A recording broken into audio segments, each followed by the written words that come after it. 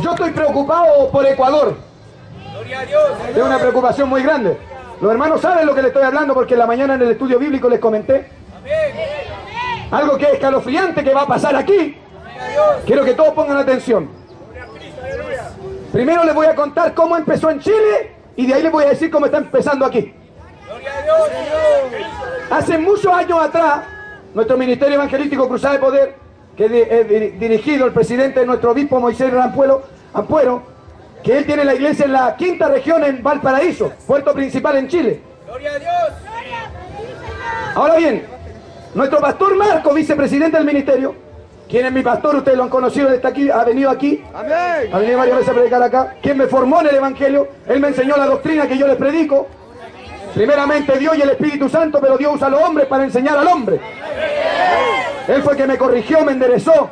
Cuando yo me quería descarriar, cuando andaba con problemas, él me tiraba la oreja, me corregía. Él fue el que me puso la primera corbata. Cuando llegué a la iglesia yo no me ponía corbata. Una vez el pastor Marco llegó, íbamos con mi esposa que aquí está presente, y íbamos llegando a la iglesia con su hijo Marquito, dijo hermano Hugo, venga acá. Ya yo le estaba hablando de unos 5 o 6 años atrás, no sé cuántos años ya, varios años atrás. Y dice el pastor hermano Hugo, ya es tiempo que se ponga un traje. Y yo de la calle, hermano, ¿qué me voy a poner traje yo? Gloria a Dios. Digo, ya tiene que andar ordenadito. Y me habían comprado un traje, un terno, una corbata. ¿Cuánto alaban a Dios, hermano? ¿Y cómo se pone esta cosa? Dije yo. Pero le comento esto, mi pastor Marco, que es un hombre muy fuerte de la palabra por la- para los que no lo conocen. Un hombre, como dicen los, los liberales, dice, es radical. Los argentinos le dicen, ¡asa brava! Ya, ya se imaginará usted. Es un Juan el Bautista de- del siglo XXI. ¿Cuánto alaban a Dios, hermano? Mi pastor Marco hace muchos años, pero muchos años, comenzó en Chile.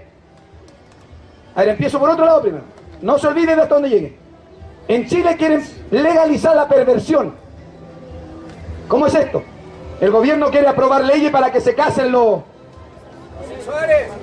Homosexuales, que se casen estas niñas. Entonces quieren sacar, legalizar leyes, poner leyes para que se casen hombres con hombres, mujeres con mujeres y además de eso puedan adoptar niños.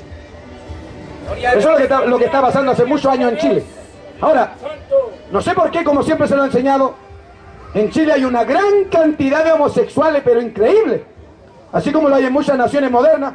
Porque yo no sé qué relación hay entre el homosexualismo y el mucho estudio. Pero fíjese usted que siempre esos tipos que estudian demasiado, esos que ay, son médicos, quieren ser abogados y van para arriba, casi siempre esos tipos terminan siendo homo- homosexuales. No sé qué relación hay ahí, pero allá en Chile hay una cantidad de homosexuales. Oiga, un paréntesis, si no estén alegando por el sol, pues la semana pasada estaban alegando por la lluvia. Gloria a Dios. Si llueve, predicamos igual. Y si hay sol, nos doramos un poquito más, amén. Más calor hace en el infierno. ¿Cuánto la van a Dios? Pero yo les voy a predicar aquí a la sombra. Un aplauso a Cristo, hermano. Dame agüita, hermano.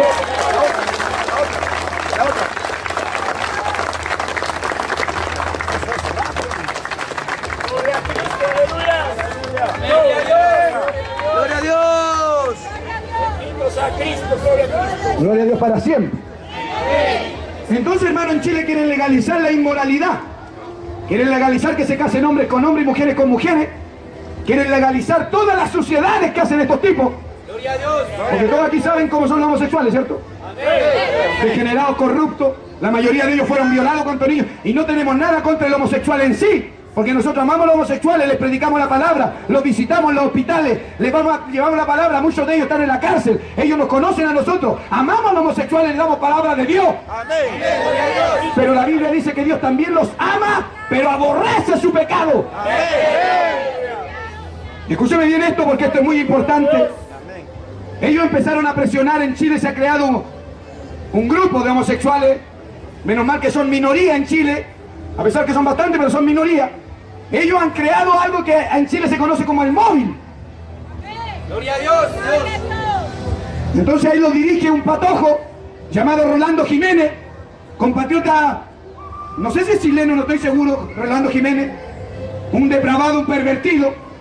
Y él es el que está presionando y muchas naciones del mundo lo apoyan monetariamente para que se la- la- el degeneramiento para que saquen leyes, les aprueben leyes. Y resulta, hermano, que mi pastor Marco, yo en ese tiempo simplemente era un hermano, le ayudaba a mi pastor, yo estaba en Chile, con él siempre protestamos. Gloria a Dios. Gloria a Dios. ¿No me escucharon? Con él siempre protestamos. ¿Sabe usted por qué a los evangélicos antiguamente le llamaban los protestantes? Amén. ¿Por qué cree usted? Porque protestaban. Es verdad que hoy en día, año 2015, las iglesias se han convertido en verdaderos gallineros religiosos. ¿Cómo dicen hermanos? Puras gallinas cantando ahí adentro, cacareando. Como gallinas culecas y nadie tiene pantalones para poder decir algo, protestar en contra de algo. ¿Es verdad? Gloria al Señor. Aleluya. A Cristo. A Mi hermano dice, póngale fuerte no. Ahora bien, nuestro pastor convocaba a la iglesia y decía, vamos a entregarle una carta a la señora presidenta. ¿Hace cuántos años atrás? Estoy hablando de unos seis años atrás, cuando la, la actual presidente que hoy en día está, Michelle Bachelet, ya en el gobierno anterior estuvo el señor Piñera, Sebastián Piñera, pero en el anterior había estado nuevamente la, la, la señora esta que es soltera, Gloria a Dios. Dios nos libre. ¿Qué edad tendrá Bachelet ya? Con 50 años, más de 50 años, yo creo yo, calculo. Y soltera. No, Señor, Señor, si también me queda la duda por ahí. Y resulta que en el, en el periodo de gobierno anterior, en el que tuvo ella, la, la- la señora Michelle Bachelet, en ese periodo mi pastor Marco convocaba a la iglesia, íbamos a entregar una carta. Yo fui testigo, yo fui con ellos. Entonces en el gobierno de la señora Michelle Bachelet, nuestra, tengo que decir mi presidenta porque yo soy chileno, soy más chileno que los porotos, los chilenos van a entender lo que digo. Más chileno que los porotos. Entonces, nosotros con mi pastor Marco, nosotros apoyábamos a mi pastor Marco, a mi obispo. Ellos se enfrentaban muchas veces a Rolando Jiménez, el director del móvil. Me recuerdo una vez cuando ese Rolando Jiménez iba tan sobrado, tan pavo real, ¿cómo dicen aquí? Tan lamparoso, tan igualado, tan qué cosa, ayúdame. No dicen nada ustedes. Usted es tan gallo. Iba caminando así, frente a la casa presidencial Rolando Jiménez. Iba muy, muy aniñado. Iba caminando así, los homosexuales por atrás. Y mi obispo, mi obispo es un, es uno bajito, no sé si ustedes lo han visto, ¿cierto? Cabecita blanca, ya tiene su años mi, obispo. Gracias al Señor. Entonces, cuando mi obispo va pasando por el lado de él, que es un hombre muy sabio, un viejito, pero bien, está mi obispo, me saco el sombrero ante mi obispo. Entonces ese viejito sí que predica, pero con el asa bien afilado. ¿Cuánto dicen? Mi obispo va pasando así y le dice, le grita para el lado, cuando va pasando el otro para allá, mi obispo para allá le dice, degenerado. Le dice el obispo, degenerado. El otro, mira, asustado de que ellos, ellos son sensibles. Entonces, Rolando Jiménez, mira, asustado. ¿Qué me dijiste? ¿Qué me dijiste? ¡Dímelo en la cara! Se da vuelta mi obispo y dice, ¡degenerado! Y el tipo va corriendo y agarra a un policía, a un carabinero, y lo trae. Dice, señor carabinero, que diga, que diga en su cara lo que me dijo. A ver, señor, eh, por favor, diga qué le dijo al señor. ¡Degenerado!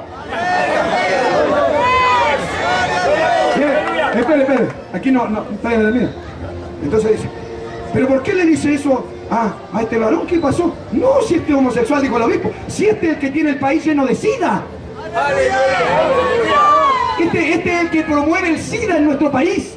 Le dice eso mi obispo y mi obispo se acerca a él y le dijo a ti nadie te enseñó que el ano es para defecar, es para ir al baño, no para reproducirse, no para tener relaciones sexuales. ¿Cuántos dicen amén, hermano? Y perdóneme, perdóneme que yo sea fuerte, pero yo, aquí no ando con medios tintos. Alabado sea el nombre Señor. Entonces, hermano, este degenerado de Rolando Jiménez, porque un degenerado, un desgraciado, un infeliz, porque no tiene felicidad, se cayó de la gracia, es un desgraciado. Todos los que se caen de la gracia, ya no están en la gracia, son unos desgraciados. Y todos los que no tienen a Cristo no tienen verdadera felicidad, por tanto son infelices. Entonces este señor, Rolando Jiménez, se enfureció tanto, mi obispo se fue tranquilamente, pero le dijo su verdad en la cara. Vos sos el que tenéis lleno este país de sida. Entonces, amén, hermano. Porque todo aquel que está a favor del homosexualismo va a ser responsable del SIDA que hay en su país. Ahora bien, mi pastor Marco comenzó a hacer protesta. llevaba a la iglesia un par de miles, desfilando a entregarle a la actual presidenta Michelle Bachelet. Empezó a entregarle las cartas donde la iglesia evangélica cristiana dice no al homosexualismo, sí al matrimonio de un hombre con una mujer. Aquí en Ecuador decimos lo mismo, ¿no? Ahora bien, algunas iglesias evangélicas se hacían las locas, se hacían los lesos y decían, ay, Marco Morales, le decían a mi pastor, Marco Morales el loco siempre anda reclamando, siempre anda protestando, siempre Marco Morales anda, anda con cosas raras, revolucionando a la gente, ese Marco Morales, decían. Gloria a Dios. Aleluya. Pero resulta que pasó el tiempo y si tú le das la mano a los homosexuales, ellos se toman el codo. Amén. Gloria a Dios. ¿Sí me entendieron? Amén. Son puntúos. ¿Qué- ¿Cómo dicen? Son. ¿Ah? Pucha, a ver cuando pregunto algo. Confianzudo. Ya, pues el sinónimo, parece que tienen miedo. esto. Gloria a Dios. Ya, hermano, si alguien se lo van a llevar preso, va a ser a mí, no usted, así que no tenga miedo. ¿Cuánto dicen amén? Ahora bien, resulta que no apoyaron las marchas que hacía el pastor, en ese momento no la apoyaron mucho. Éramos un par de miles, pero en Chile, hermano, hay más de un 22% de cristianismo. O sea, estamos hablando de varios millones de, de cristianos en Chile. Entre bueno y malo, digo yo. Aleluya. ¿Cuánto dicen amén? Y resulta que pasó el tiempo y estos homosexuales se empezaron a meter en el gobierno, como ellos tienen plata, como ellos, ellos ahí algo tienen que tener de unión con los políticos corruptos. Algo tienen que tener ellos, que resulta que los políticos los empezaron a ayudar para sacar leyes en Chile. Primero empezaron con la ley no discriminación. Gloria a Dios. Porque según ellos, al no dejarlos casar, tú los estás discriminando. Alabándose, de Dios. Pero en realidad nadie está discriminando a nadie. ¿Por qué razón? Porque si fulano de tal viene aquí Juan Pérez y dice me quiero casar, por supuesto que sí, pero tenés que casarte como lo dice la naturaleza misma. Si casarte con una mujer nadie te va a discriminar. Pero si te venía a casar con un caballo, si te venía a casar con un perro, Aleluya. ¿Este problema? ¿Me cuánto dicen amén? O así como Miguel Bosé. ¿Conocen a, ¿conocen a ese degenerado, no? Dijo que había tenido relaciones sexuales con los animales, con, con mujeres, con hombres, y que ahora ya estaba hasta aquí y ahora quería tener relaciones sexuales, dijo, con las plantas.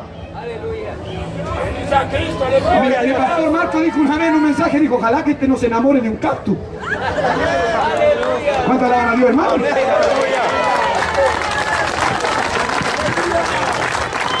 Su nombre. Ojalá que este no se enamorado de. Ahora, escúcheme bien. Hermano Hugo, ¿por qué usted no está contando todo esto? Bueno, ¿a dónde va la micro? El asunto está, mi amigo querido, que los homosexuales en Chile, hace un par de meses atrás, estalló una noticia en todos los noticieros del país y también se fue al mundo entero, porque los homosexuales provocaron que los gobiernos, que el gobierno chileno, los, diputados, el parlamento, ejecutaran una ley para meter una porquería de cuento, de libro, a las clases de niños, ¿cómo le llaman aquí las escuelitas, verdad? Jardín, parvulario, ya, los pequeñitos, que le entrara un libro pervertido y degenerado, en el cual se titulaba el cuento Nicolás tiene dos papás, Gloria a Dios. Aleluya. para concientizar a la sociedad, a la gente, a de que no hay ningún pecado entre que Nicolás tenga dos papás, Juan y Pedro. Gloria a Dios. Gloria a Dios. Gloria a Cristo. Aleluya. Qué terrible, hermano. Amén. Entonces fue, escúcheme bien, entonces fue hermano cuando la población completa, el país entero, quedó blanco y se dieron cuenta que la perversión no tiene límite. El degeneramiento no es simplemente que tú digas, ah, ya dejemos que se casen estas yeguas. Gloria a Dios. No, no, no. Amén. Esto va mucho más allá de eso. Después de eso, así como Ricky Martin es un degenerado y tiene dos hijos, ¿sí o no? Esos niños también van a terminar degenerados porque ellos, la mayoría de ellos los violan. Yo tengo un video que se lo voy a mostrar. En este video, no se lo voy a mostrar hoy día, cuando vayan al culto se lo muestro. En Estados Unidos, muchos estados aceptaron el casamiento de homosexuales y que puedan adoptar hijos. ¿Puede imaginarse usted las aberraciones que hicieron con esos niños? Empezaron a salir escándalos pero tremendos de niños violados. estaban vendiendo pornografía infantil, infantil para los pedófilos. ¿Y sabe quiénes estaban haciendo eso? La mayoría de depravados que habían aceptado niños. Yo predico en Estados Unidos por muchos estados. Conozco lo que le estoy diciendo. Allá, allá, nadie se espanta si viene de un maricas de la mano. Nadie se espanta. Gloria a Dios. Amén. Aleluya. Usted lo ve besándose a la luz del día. O besándose, manoseando, nadie dice nada porque allá va que están todos locos. Gloria a Dios. Por, por- por eso por un área, por una parte me gusta tanto Ecuador, hermano. Esto, esto, allá en Chile decimos esto roto, esto, esto, esto hermano, esta gente aquí es bien, bien. El que es macho es macho, ¿cuántos dicen amén? Aquí no andan con medias cosas, con med- por eso un predicador decía yo prefiero que un hombre ande pasado a hombre, ande hediondo por último a hombre, pero que huela a hombre pues. Amén. Aleluya. ¿Cuántos dicen amén hermano? Vamos a tener palmas de la del Señor. A su nombre. Hay algunos que se pasan por la así. Hace calor, ¿no? Aleluya. Ya,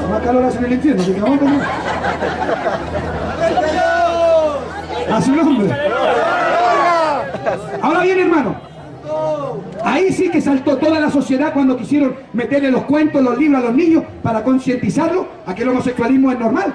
Porque lo que quieren en el mundo entero, así como en España y todas las potencias y naciones que están corrompidas, totalmente agarradas por el diablo, los homosexuales quieren a nosotros tildarnos, tildarnos de locos, de desfasados en el tiempo. Ellos están diciendo ustedes son unos verdaderos dinosaurios. Ustedes nacieron mal en este año 2015, ustedes no pueden vivir porque ahora estamos en otra época, en otro tiempo. Ahora todas las cosas están tan modernas, tanta ciencia, tanta tecnología. Dicen ellos, el homosexualismo es normal, mentira del diablo, el homosexualismo no es normal. ¿Cuántos dicen amén, hermano? No, y aquí en Ecuador apróntense, apróntense. Estos videos que están quedando grabados van a ser fiel testimonio de lo que yo le estoy diciendo a futuro. Amén. Porque ya se están levantando leyes aquí en Ecuador que se llaman no discriminación, en la cual usted no le va a poder decir nada a un homosexual. Y el homosexual va a empezar a- a exigir leyes que avalen su perversidad. Ahora bien, hermano Hugo, pero ¿por qué usted nos cuenta todo esto? Porque resulta que ayer llegó un, un correo a mí de una fuente muy importante. Me llegó un correo y este correo dice que mañana, lunes 26, mañana lunes 26 en Guayaquil, se va a presentar a las 10 y media de la mañana cuatro cuentos. Se van a presentar para los niños pequeños, para que se aprueben para los niños pequeños en cuanto al homosexualismo. Uno de ellos se llama Benedicto se siente niña. Gloria a Dios. Así se llama y mañana lo van a presentar en Guayaquil. Ahora, usted me dirá, hermano, ¿y qué va a hacer usted? Yo, cuando vengan aquí a Quito, yo voy a protestar. Amén. Ahora, ahora, ¿en contra de qué voy a protestar? En contra del homosexualismo. ¿Por qué razón? ¿Qué dice Dios en contra del homosexualismo? Levíticos capítulo 18, verso 22. Aleluya, gloria a Dios. ¿Cuánto dicen amén? ¿Quién me ayuda? Tengo una mano, ayúdame a buscar hermano Daniel. Rapidito. Gloria a Dios, aleluya, está bien. Levítico 18, 22. ¿Qué dice Dios? No te echarás con varón así como con mujer, porque es una abominación. Gloria a Dios. ¿Cuánto dice amén? hermano? Búscame otro pasaje que tengo por ahí. Gloria a Dios, aleluya, que está bien. ¿Qué más dice la Biblia? Gloria a Cristo, aleluya. Si algún hombre se ayuntare con un varón, como se ayunta con mujer, abominación hicieron. Ambos han de ser muertos sobre ello, será su sangre.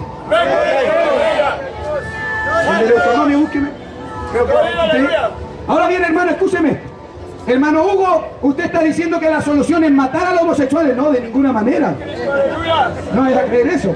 No vaya a pensar que yo estoy loco y quiero matar a los homosexuales de ninguna manera. Ya le dije que nosotros a la gente con, eh, con la sexualidad desviada nosotros le ayudamos, ¿sí o no? Las palabras lo ayudamos para que se rehabiliten y puedan ellos salir del error que están metidos. Ahora, ¿qué más dice la escritura en Deuteronomio capítulo 23? ¿Qué versículo es? El 18. Dice la escritura, no traerás la paga de una ramera ni el precio de un perro a la casa de Jehová tu Dios. Por ningún voto. Porque abominaciones a Jehová tu Dios, tanto lo uno como lo otro. ¿Cuánto dicen amén? Oiga, ¿sabe cómo Dios le llama a los- al homosexual? Perro. Amén. Amén. Hoy Dios, Dios no será muy legalista. Dios no será muy duro. Dios se le está diciendo perro al homosexualismo. Ahora, las versiones bíblicas modernas, NBI, todas esas Biblias que nos sirven mucho, hoy en día porque le han cambiado, le quieren sacar lo fuerte al asunto. Le quieren cambiar los textos en los cuales Dios es tajante. ¿Cuántos saben que Dios es tajante, hermano? Con Dios no se juega. Ahora, en el principio, gracias. En el principio, la Biblia dice que Dios creó varón y hembra los creó. ¿Cuántos dicen amén, hermano? Amén. Si Dios los creó varón y hembra, hembra. Ahora, fíjense que aquí en Ecuador hay una costumbre en el cual cruzan un burro con una yegua y les nace, ¿cómo se llama? Mula. Una mula. Les nace una mula. Como eso no es aprobado por Dios porque está estrictamente prohibido en la escritura cruzar a los animales de esa manera, ¿qué hace cuando nace la mula? ¿Puede procrearse? No. ¿Puede la mula parir más hijos? No. No. ¿Por qué? Porque Dios no lo aprueba. Amén. Mi amigo querido, todo lo que Dios no aprueba, se muere. Amén. ¿Sí o no? Amén. Ahora bien, un hombre y otro hombre, ¿qué pueden sumar? ¿Otro hombre? No, No. nada. Nada. Mi obispo decía, si ponemos en una isla a mil homosexuales a hacer todas sus cocinas que quieran. Y en otra isla ponemos un solo matrimonio. Uno solo. Hombre y mujer. Como Dios mandó. Y acá en la otra isla ponemos como el diablo mandó. Puro hombre. Y venimos a verlo de aquí a 100 años. No hay ninguno. Todos habrán muerto porque no se pueden procrear no se pueden reproducir. ¿Cuántos dicen amén, hermano? Y si vamos a ver el lugar donde dejamos ese matrimonio, habrá vida. ¿Cuántos dicen amén, hermano? Todo lo que el diablo toca lo maldice, todo lo que Dios toca le da vida. ¿Cuántos dicen amén, hermano? Por eso le vamos a Cristo. Porque es el camino, la verdad y la, vida. ¿Cuántos la vida, hermano? ¡Cristo vive! Y a mí no me vengan, hermana, hermana, acercarse después y hermano acercarse después que termine de predicar. Ay, pastor, ¿no sabe usted que si habla de los homosexuales se lo van a hallar preso? ¿Y qué me importa a mí? Aleluya. Capaz que yo tenga miedo de ir a la cárcel, ¿no? No, no. Amén. Hermano, es que aquí tenemos que convertirnos en verdaderos revolucionarios en el Evangelio. Aleluya. Nosotros tenemos que ser protestantes, pero de verdad. Yo digo, como dice el Salmo 11.3, si los fundamentos fueron destruidos, fueran destruidos, ¿qué ha de hacer usted el justo? Gloria a Dios. ¿Cuáles son los fundamentos? Lo que sostiene esta sociedad, pues, la familia. Si los fundamentos fueran destruidos, ¿qué, hace, ¿qué ha de hacer usted? ¿Se va a quedar calladito? Como la mayoría de predicadores gallinos y cobardes que tenemos hoy en día. Que lo único que andan haciendo es enseñando sus nuevas revelaciones. Y de revelación no tienen nada. De iluminación no tienen nada. Andan hasta sin trabajo. ¿Cuántos dicen amén? Amén. Santo. Algunos andan todos hediondos. Gloria al Santo. Es la que quieren enseñar lo nuevo, lo que a mí me revelaron y no se dan cuenta. Cristo le reclamó a los fariseos y les dijo, hipócrita, vosotros veis el viento venir de allá y que pasa para allá y decís va a llover. Vosotros veis las nubes del cielo y todo eso lo sabéis ver, pero son unos hipócritas porque no saben discernir el tiempo en el cual están viviendo. Nosotros no lo escogimos, pero nos tocó vivir en el tiempo del fin. Ahora, una pregunta a todos los amigos que nos están escuchando. ¿Sabe usted cuál fue el motivo principal, principal, de por qué Dios destruyó con fuego y azufre la ciudad de Sodoma, Gomorra, Acma, Seboín? O sea, aparte de la homosexualidad, digo yo. ¿Sabe por qué? Porque ellos existían hace rato. Hace mucho rato que estaban homosexuales, se habían convertido en homosexuales, pero algo pasó que reventó y, la- y la- y llegó a la presencia de Dios el pecado de ellos. ¿Qué fue? para que no se siga contaminando. No, no, no, eso es después. ¿ah? Para que no se siga contaminando. Ya. Ellos no querían simplemente ser ellos así, querían que todas las demás ciudades fueran como ellos. Amén. Primero era Sodoma, después Gomorra, después Asma, Segoín, Soar. Ya iban en cinco cuando Dios dijo esto hay que detenerlo rápidamente. Amén. Hay que ponerle un freno a esto, mi amigo. Amén. Y con Dios no, no se juega. Dios dijo esto hay que solucionarlo rápido. Aquí no hay que ir a conversar con estos tipos, aquí no hay que hacer nada con estos tipos, aquí no hay que venir a, a hacer ninguna cosa con estos tipos. Aquí lo único que hay que hacer, dijo Dios, es matarlos a todos. Amén. ¿Cuánto alaban a Dios, hermano? ¿Cuánto le dan la alabanza al Señor? ¿Quieren meter aquí en Ecuador cuatro cuentos para la escuelita? Para el, ¿cómo me dijeron que se llamaba? El jardín, pre-kinder, kinder, no sé cómo le llamen, ¿ya? ¿Ah? Kinder, ya. ¿Quieren meterle a nuestros niños esa porquería, esa mugre, hermano? Resulta que cuando esa corrupción, esa suciedad, esa asquerosidad de homosexualismo entró a través de ese cuento a los jardines infantiles, se levantaron todas las mamitas allá en Chile, hermano, y empezaron a protestar y empezaron a reclamar en contra del gobierno, en contra de todo el mundo, y todos se asustaron. Pero yo digo, ¿qué va a pasar aquí en Ecuador si usted no se levanta, mi amigo querido? Y los homosexuales quieren agarrar parte en este asunto. Y empiecen a meter, empiecen a meter toda esta enseñanza para concientizar a nuestros niños que es normal vivir entre homosexuales, que es normal vivir en Sodoma y en Gomorra, que el Señor reprenda al diablo. ¿Qué dice la escritura en Romanos capítulo 1, verso 22 en adelante? Que como ellos no tuvieron en cuenta a Dios, Dios los entregó una mente degenerada, una mente reprobada. ¿Cuántos dicen amén, hermano? Para hacer cosas que no convienen. Incluso, dice la escritura, muchos de ellos cambiaron el uso de la natural de la mujer por el que es contra natura. Eso lo dice Dios en la escritura. ¿Cuánto alaban a Dios, hermano? Entonces yo no, usted, no sé usted, no sé usted, pero aquí en Ecuador yo voy a alzar la voz. Y mire, escúcheme esto. Si a mí me votan del país cuando yo proteste, me voy a ir con la frente bien en alto, porque yo no soy ecuatoriano. Pero eso mucho más que mucho ecuatoriano. Gente que no se atreve a reclamar de nada. O sea, nos van a poner el pie encima y todo el mundo va a hacer lo que quiera con nosotros. Y los homosexuales hoy en día quieren ellos ridiculizar a los cristianos evangélicos. Lo que quieren es enseñarle al mundo que los cristianos evangélicos estamos mal. La Biblia dice, amigo querido, en Isaías 5, dice la escritura, ¡ay! de aquel que a lo malo le llama bueno y a lo bueno malo. Que cambian lo amargo por dulce y lo dulce por amargo. ¿Cuántos dicen amén, hermano? Hay de aquello. Vienen cosas terribles a esta tierra, sí. Cuando siempre en una sociedad el homosexualismo comienza a crecer y comienzan a, a reclamar derechos y leyes y el gobierno accede y le confirma sus leyes perversas, lo único que le espera a esa nación es que venga juicio de parte de Dios. ¿Por qué cree usted que a Chile le han venido terremotos tan grandes?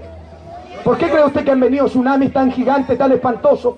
¿Por qué cree usted que vienen todos esos incendios que desaparecen miles y miles de casas y no hay nadie, ningún bombero que pueda detener eso? ¿Por qué cree usted? Porque mientras más moderna la nación, más se degenera, más se deprava. ¿Cuántos dicen amén, hermano? Aquí en Ecuador tenemos que orar por esta nación. Tenemos que unirnos en oración, que Dios reprenda al diablo, que Dios no permita que ningún homosexual llegue ahí al gobierno a poner las leyes. ¿Cuántos dicen amén? La oración del justo, dice la escritura, puede mucho. Y hay algo que el diablo no puede en la oración.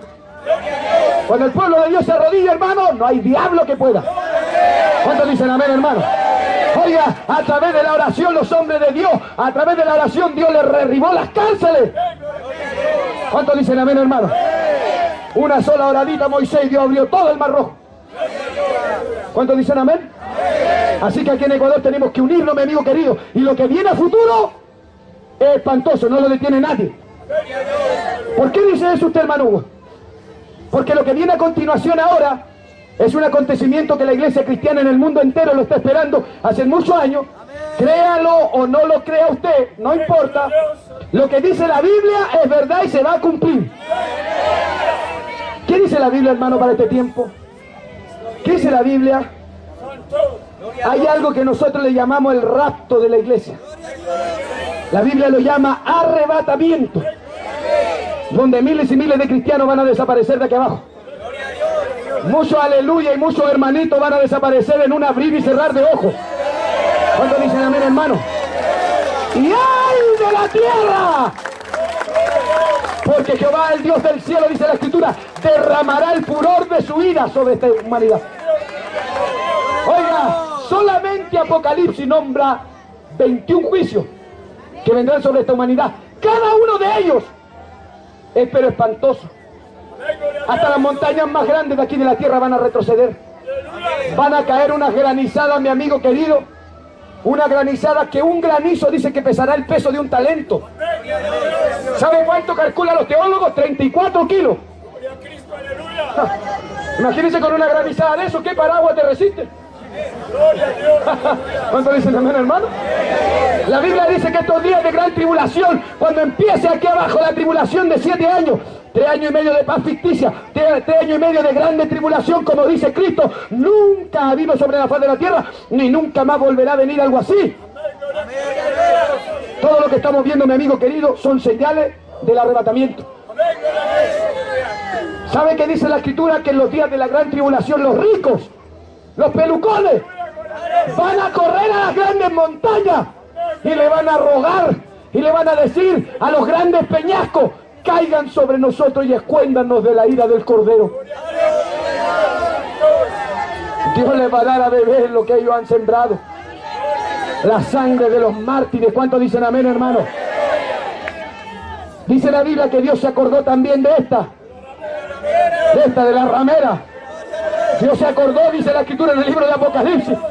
Oiga, por un momento Dios estaba mandando toda la ira sobre la tierra, todos los juicios, y dice de repente se acordó de la gran ramera. Y ahí dice que descendió con furor del cielo contra ella. Y le dio a beber del cáliz de su ira.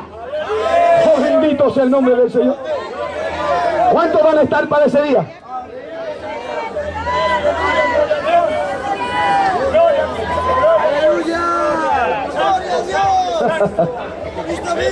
Nosotros, la gente que abajo estará mirándole la cara fea al anticristo. Nosotros estaremos mirando la cara linda de Jesucristo allá en el cielo, abrazándolo, diciéndole Rey de Reyes, Señor de Señores, gracias por salvarme, gracias por perdonarme.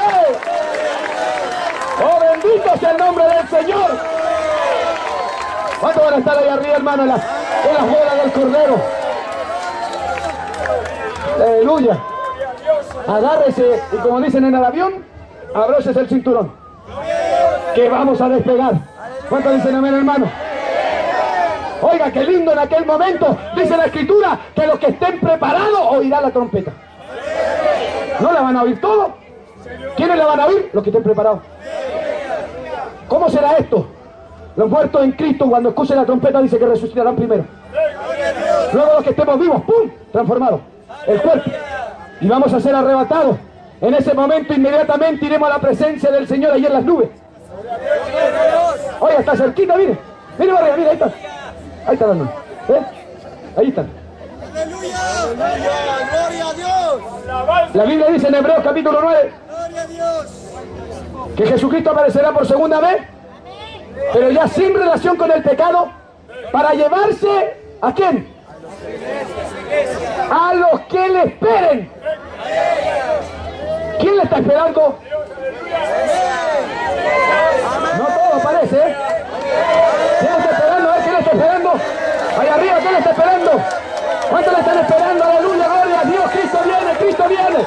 Pronto llegará el fin. Esto se acabará. Cristo viene por su iglesia. ¿Cuánto le dan palma al que viene? ¿Cuánto le dan palma?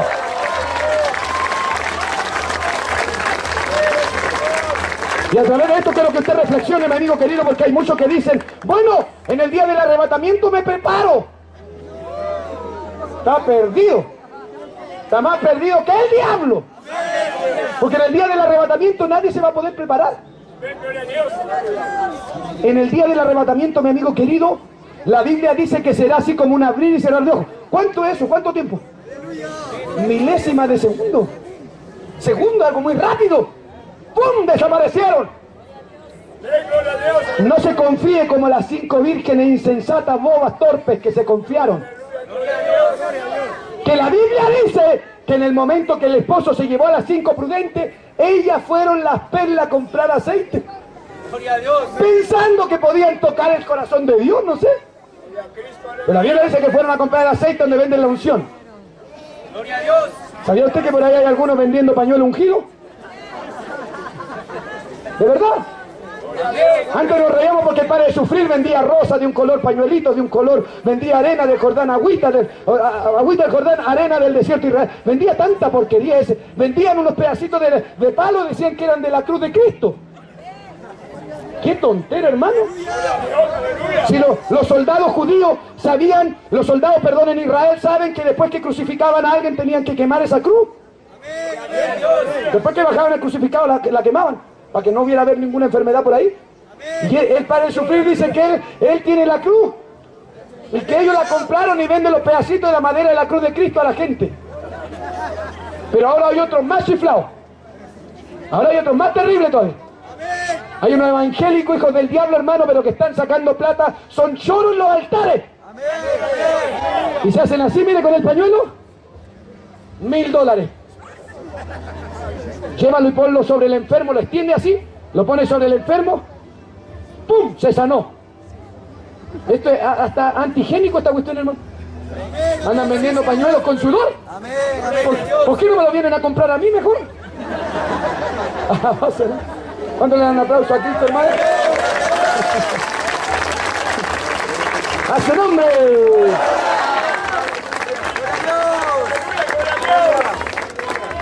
Cristo viene. Pronto llegará el fin, hermano.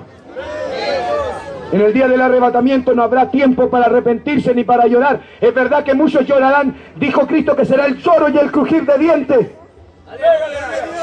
En ese día, mi amigo querido, ¿sabe lo que hará la gente? Irá al internet a ver estos videos que estamos predicando para sacar conclusiones, analizarán nuestras prédicas, pero ya será tarde. Todo esto que grabamos va a ser testigo, va a ser testigo porque esto va a quedar para los días de la tribulación. Yo me voy y ellos quedan. No el que está grabando, la cámara digo yo y, lo- y lo- y la grabación, eso va a quedar. ¿Cuántos dicen amén? ¿Cuántos se quedan? ¡Aleluya! Oiga, parece que están parando bien la oreja. ¿Cuántos se van? Aleluya, gloria a Dios. Si hay algunos que no levantan la mano, parece que tienen duda. A su nombre. Hay un corito, hay un cántico que decía, me voy con él, me voy con él, me voy con él, me voy con él. Yo no me quedo, que se quede el diablo, me voy con él. ¿Cuántos dicen amén, hermano? ¿Cuántos se van? Velad y orad. Porque no sabéis el día ni la hora en que vuestro Señor volverá. Hermano, hoy en día en la iglesia los hermanos ni siquiera saben de esto del arrebatamiento. Ellos dicen, pero si a mí nunca me habían dicho. ¿Ha visto usted alguna vez al cura mentiroso enseñándole a la gente que Cristo viene? No, ellos no enseñan eso. Lo de la prosperidad. Marcos Viz, Cas Luna, Guillermo Maldonado, Ana Méndez, Ana Maldonado, Dante Hebel. ¿Quién más? Se me olvida algún desgraciado. Alberto Motesi. Ronnie Chávez, el más desgraciado que vende pañuelo ese. Ya casi una lo nombré, ya ese afeminado. Gloria a Dios. Luis Palau, argentino hijo del diablo. Nómbreme, nómbreme, acuérdense de alguno. Dante Gebel, ya lo dijimos. Benny Gil. Sí que es. Todos estos predicadores que le estamos nombrando, ellos jamás los va a escuchar usted predicar que hay que prepararse porque Cristo viene. Porque si ellos preparar, predicaran a la iglesia que Cristo viene, se les acaba el negocio, pues. Ve que están construyendo grandes mansiones, grandes cruceros, tienen helicópteros, tienen aviones privados. Alabado sea el nombre del Señor. ¿Cómo le van a pagar a los guardaespaldas si la gente se empieza a preparar de que Cristo viene? La gente le va a estar temor, se va a poner a ayunar, a, buscar de Dios, se le va a meter el Espíritu por dentro. ¿Cuántos dicen amén? Y cuando el Espíritu Santo guía a una persona, el Espíritu Santo le abre los ojos espirituales y lo hace ver quién es verdadero y quién es falso. Y ahí está el problema. Por eso ellos mejor no predican de, que Cristo viene, porque si predican que Cristo viene, se le acaba la empresa. Se le acaba el negocio. Alabado sea el nombre del Señor. Oiga, estos tipos están construyendo la ciudad de Dios con aeropuerto y todo. Seguro que Dios va a bajar en avión. ¿Puede creer la estupidez, mi amigo querido? Usted me dirá, hermano Ubi, todo esto, ¿qué nos enseña a nosotros? Que Cristo viene. Es el tiempo del fin, mi amigo querido. No seas como las cinco vírgenes insensatas que no pusieron aceite en su vasija. En esta tarde entrega tu vida a Cristo de corazón. Pídele perdón a Dios por tu pecado. Dile a Cristo Jesús que lo amas con todo tu corazón. Dile que no te vas a quedar para el gobierno del anticristo ya que todo está preparado. Hoy día es el día para ti. Entrégale tu vida, tu corazón al Señor. A lo mejor tú estás llamándote cristiano, pero estás descarriado. Yo no sé. Dios lo sabe. Pero en el día del arrebatamiento van a haber muchas sorpresas. Muchos se van a quedar. Tú no tienes que ser uno de ellos. Yo quiero verte un día ahí arriba en el cielo y darte un abrazo y decirte, hermana, hermano, ¿te acuerdas cuando predicamos en la plaza? ¿Cuánto dicen amén, hermano? ¿Te acuerdas cuando dejaste de lado tus cosas materiales y te viniste a apoyar el punto de prédica? Cuando estemos allá arriba y nos demos un abrazo, cuando allá no habrá más muerte, no habrá más dolor, no habrá más angustia. ¿Cuántos dicen amén, hermano? No habrá más enfermedades, no habrá más maldad, porque allá arriba todas las cosas van a ser nuevas. Alabado sea el nombre del Señor. Si estás perdido, yo quiero orar por ti. Si estás perdido, yo quiero hacer una oración por ti. Quiero ofrecerte una oración por salvación de tu alma gratuitamente. No te voy a pedir nada, lo único que tienes que hacer, hazme una señal así como yo lo hago para ver. Si hay alguien que quiera entregar su vida a Jesucristo, yo quiero orar por ti, levántame tu mano ahí donde está. Sé valiente, levántala. Dios te bendiga, joven. Dios te bendiga. Vamos, vamos. ¿Hay alguien más? Dos manos arriba. Tres manos arriba. Dios te bendiga. ¿Hay alguien más? Aquí hay otro. Un pajarito, mire. Llegó la palomita. ¿Hay alguien más? Levante la mano. Dios te bendiga, varón atrás. Dios te bendiga. ¿Hay alguien más? Sea valiente. Levante la mano. Queremos orar por ti. ¿Arriba hay alguien o no? Atrévase. Dios te bendiga, joven. ¿Hay alguien más? De los valientes del reino de los cielos. Levanta tu manito. Estás perdido. Dios te bendiga, varón. ¿Hay alguien más? Dios te bendiga, dama. ¿Hay alguien más? Queremos orar por ti. No te vamos.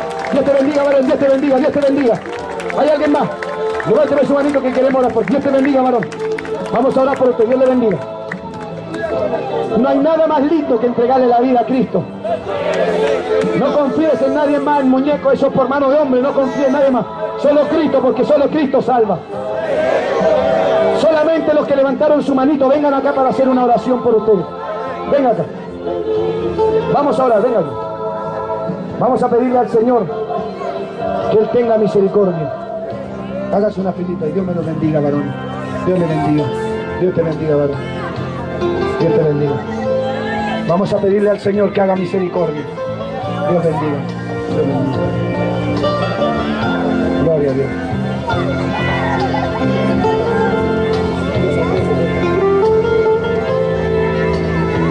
Dios me lo bendiga. Dios le bendiga, joven. El joven que estaba ahí de verde, ¿dónde está? Ya baja. Ayude, ayude, que venga luego, vamos a orar. Mire, 1, 2, 3, 4, 5, 6, 7, 8, 9, 10. Necesitábamos solo uno para que hubiera fiesta en el cielo. ¿Cuántos dicen amén, hermano? Dios le bendiga. Den un pasito,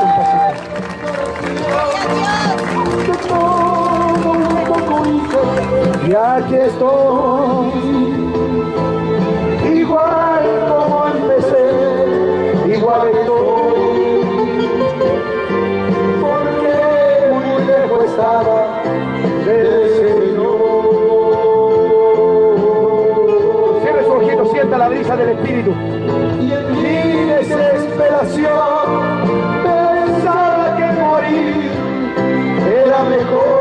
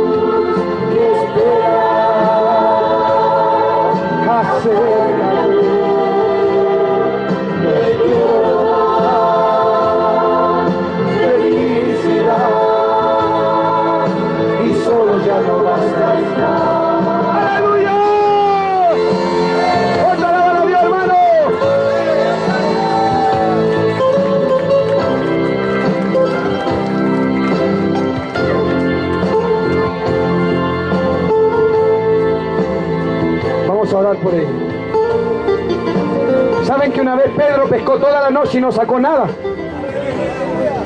Toda la noche pescó Pedro y nada. Sus hermanos también. Y cuando llegaron al otro día, estaba el Señor Jesucristo ahí. Y el Señor Jesucristo le dijo, Pedro, ve y tira la red como yo te digo a la derecha. Y yo me imagino que Pedro tiene que haber dicho, Señor, tú eres carpintero, yo soy pescador. Llevo toda mi vida pescando y tú que eres carpintero me vas a decir a mí cómo pescar.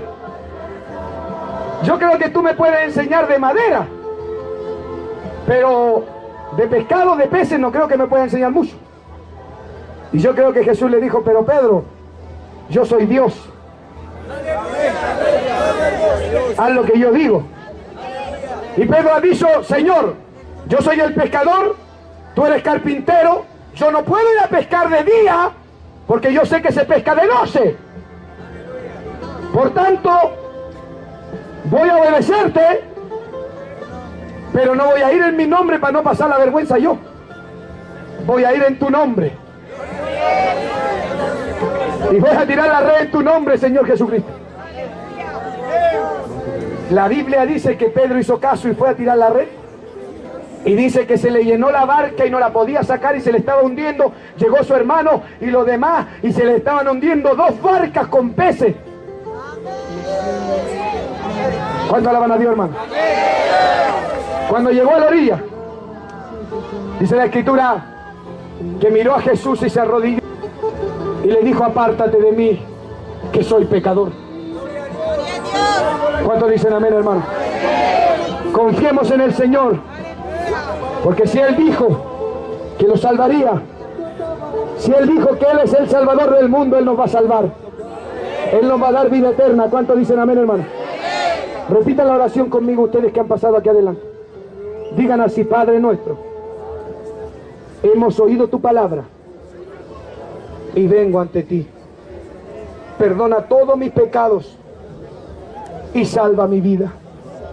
Sálvame Jesús, porque fuera de ti no hay quien salve.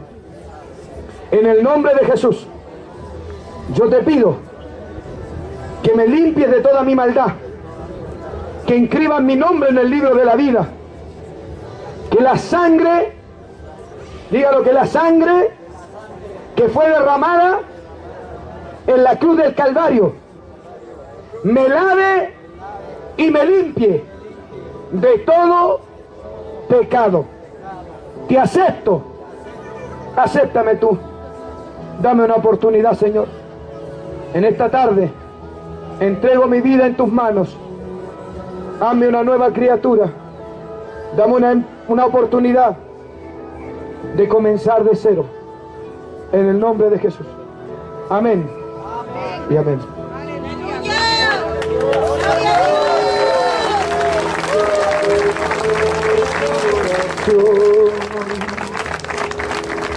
Considera mis pensamientos. Atiende. Atiende a la voz de mi clamor.